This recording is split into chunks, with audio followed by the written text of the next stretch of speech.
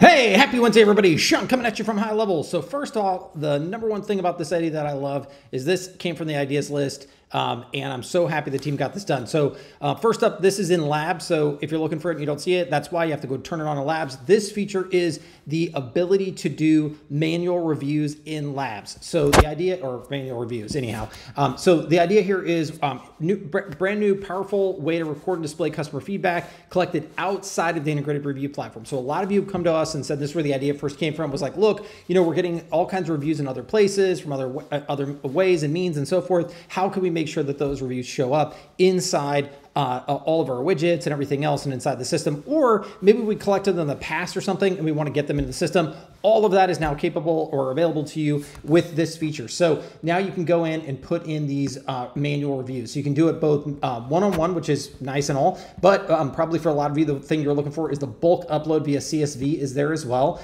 And this kind of unifies all of our reviews together in one spot. So I love that they did this. You can of course showcase these manual reviews just like you can other reviews. Here's the upload for the CSV. So there's a lot that goes into this feature, of course, but the gist is that you're going to be able to take all of those reviews that you either got in other review platforms outside of um, the review platforms or in the past and kind of unify them all together beautifully and make sure that they show up in the widgets and everywhere else that you want them. So um, again, this feature is in lab, so make sure you go turn it on. Um, obviously, there is a change log for that. So as always, ideas.gohighlevel.com up top, hit the change log um, and you can find it. And, uh, and, you know, as always with things in the labs, um, we want to put them there for you to go use them, give us feedback, make sure that we did a great job. And if we missed something, get it updated before it goes live. So anyhow, on that note, I hope you're having an awesome Wednesday and I'll see you in the next video. Thanks.